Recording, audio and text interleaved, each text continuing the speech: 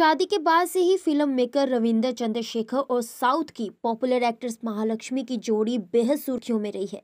लेकिन शादी के चार महीनों के बाद एक बार फिर कपल चर्चा में है। दरअसल हाल ही में रविंदर और महालक्ष्मी ने सोशल मीडिया पर फ़ोटो शेयर किया है, जिसके कारण लोग उन्हें सोशल मीडिया पर ट्रोल कर रहे हैं। यूज़र्स का कहना है कि महालक्ष्मी ने पैसों के लिए फ़िल्म मेकर रविंदर से शादी की है।